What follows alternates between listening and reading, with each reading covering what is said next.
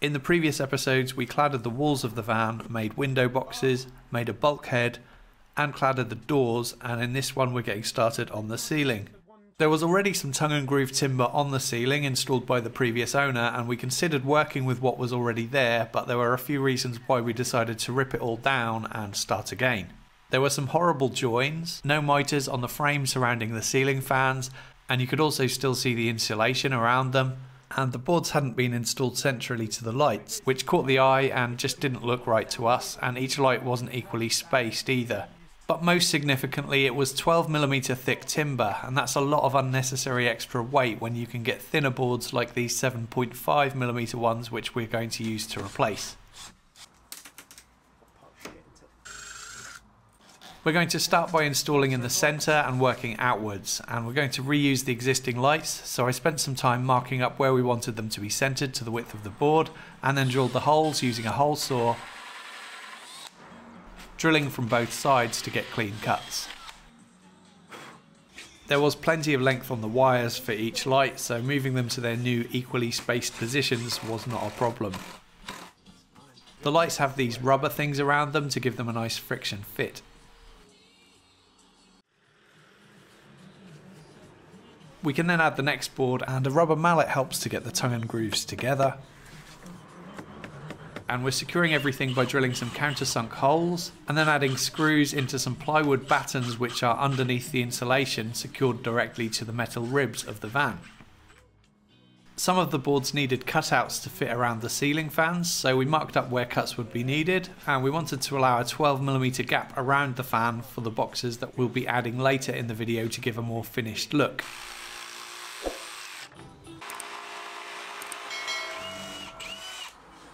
In some areas we needed to butt some boards together end to end as the length of the van is 4.5 metres and the longest boards we could source were 2.4 metres.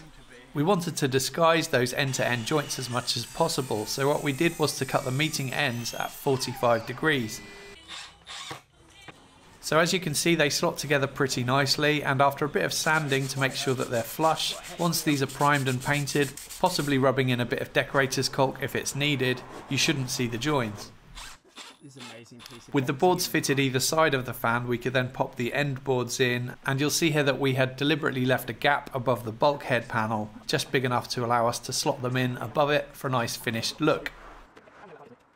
We're using two screws across the width of each board, that's just to prevent the boards from cupping as the wood expands and contracts over time. Actually, on the back of these boards you'll see that there are some grooves, which I expect were made as relief cuts designed to stop the boards cupping too. Then we could fill all of the screw holes. One of the boards would need to be scribed to fit around this plastic trim. So here I'm just temporarily pinning the board to the underside of the previous board. I can then measure the amount of material that needs to be removed and set my compass to that measurement and scribe the shape of the plastic onto that board.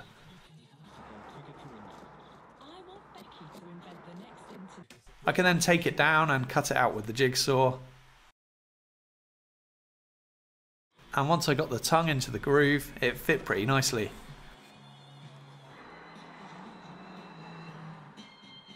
For the ceiling fans, I'm making a simple box to fit the space around it using some thin pieces of pine.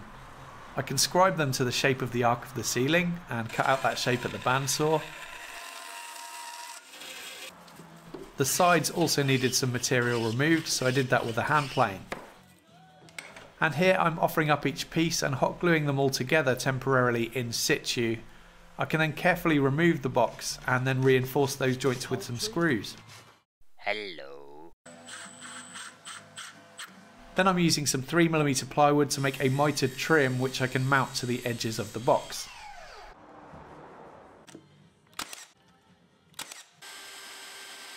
These boxes are going to be screwed in place to the ceiling, no glue here just in case access is needed to remove the ceiling fans in future.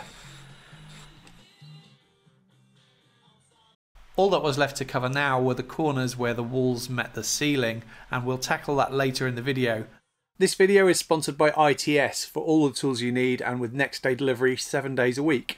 ITS refuse to be beaten on price by either Screwfix or Toolstation. I've shopped with them in the past and been very happy with their competitive prices and good service, and I'm not alone as they have over 16,000 five-star Trustpilot reviews. If you use the code RAGANDBONE at checkout and spend over £50 excluding VAT, you'll get a free goodie bundle worth £30. Link in the description box below if you'd like to check out their website. The next job was to box in these pillars on either side of the doors. The easiest way to hide these would be to use carpet and some spray adhesive, and I think that's what most people tend to do to hide them, but the client wanted these ones boxed in. We made up a few blocks like these ones, which are going to ease the transition of the top corners to a shape that we can bend the plywood to. And we can screw those directly into the metal. We offer up a piece of plywood, making sure it's sitting straight on the floor, and scribe the shape of the wall onto it using a block of wood. Then we can cut it out with a jigsaw. And we started mounting a few more blocks around the pillars to give us more material to fix to. After a few adjustments it looked a good fit. We can then make some marks to indicate where to remove more material but we allowed an additional 10mm here because we want to make sure to leave some material overhanging so that we can flush trim it later.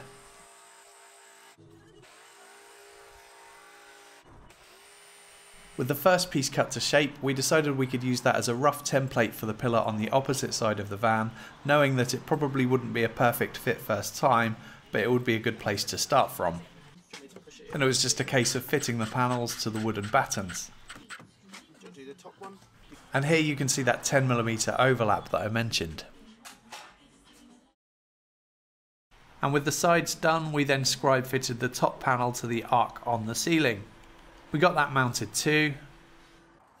And then it was yet more scribing to fit these inner panels, which will butt right up to the bits that we'd already added.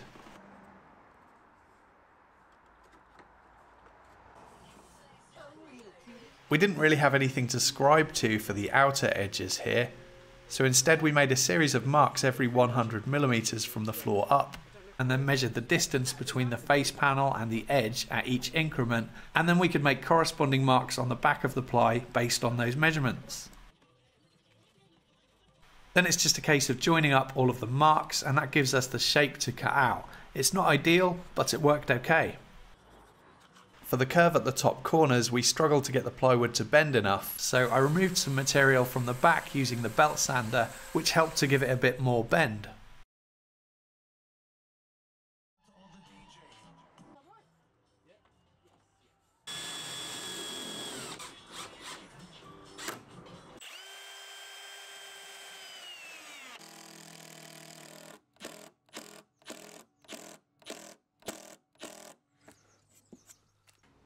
The door holder brackets, originally we were just going to make a small cutout for them, but then we realised that if the wind caught the door, the brackets would probably break through the plywood, so we ended up cutting it all away to allow them to open and close fully, which didn't look great, but this will all be hidden by cabinetry later anyway.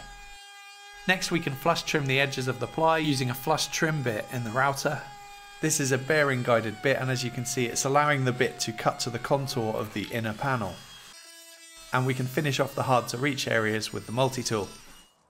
Here we've got the inner panel at the top held in place temporarily just with masking tape and I can get that scribed and cut to shape too.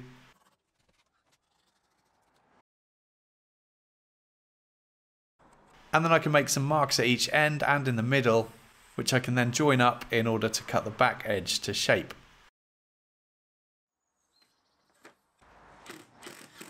And then I could flush trim that too. You'll see that we ended up with some gaps in the corners here unfortunately, but rather than make new panels and waste more plywood, we decided we'd done our best and we'd caulk the rest. So finally, closing up the gaps in the corners of the ceiling, I cut a cardboard template of a kind of skewed triangle shape to fit the contour of the corners, and I marked that up onto a piece of pine and cut out lots of these at the bandsaw. Those got secured to the battens in the wall and the ceiling with some screws. I ripped some more plywood at the table saw And hot glue was handy here to temporarily hold the pieces in place until we could get some screws in. All these panels are going to be hidden later when we build cabinets in front of them. Same again on the opposite side of the van. And that's it all done. So the ceiling now looks much better than it did before and once it's all caulked, primed and painted I think it'll look really tidy and we've cut down considerably on weight too. I think I worked out that this 7.5mm thick timber ceiling is about 30% lighter than if we'd have used the 12mm boards that were up there originally. That's if my maths is correct, which to be fair it usually isn't. And the old boards that we took down will still get used for something else, obviously, as we don't waste wood around here. Boxing in the pillars was an absolute pig of a job, to be honest. Extremely time consuming, and at the moment it doesn't even look all that brilliant, but once again, once it's all painted and all the cabinets and everything are fitted, it should be a big improvement. Having now done it, if I were to do it again, I know that I'd be able to do it much better, but that's just the nature of these jobs, really. And to be honest, it's not a job that I'd particularly like to do again. The corner cladding between the walls and the ceiling was basic and really quick to do. It doesn't really make sense to spend more time on that kind of thing because it's all going to be hidden behind cabinets. Oh, and just by the way, we still haven't cladded the large side door yet, but we're going to leave that for now until we've decided how to do it. My preference is to do it in two panels, a top and a bottom panel with no window box, and I've got some ideas about how I'd approach that, but I think the client is leaning towards the whole door being cladded, which is going to present some challenges because it's a big door, so we'd need to find a way to join two pieces of plywood together, hiding the join as best we can, and we'd also need to get all of the tongue and groove effect grooves that we'd cut into the panels to line up by eye with the panels next to them. But either way, it's going to be interesting. In the next episode, we're going to be working on making the upper cabinets. And at this stage, I'm not sure what else. But anyway, stay tuned for the next episode. Please subscribe to my channel for more weekly woodworking videos. If you'd like to help support the channel and get exclusive content, early access to my videos, free project plans and cut lists, and a name credit at the end of the videos, you can find links to my YouTube channel membership and Patreon pages in the description box below. Thank you for watching.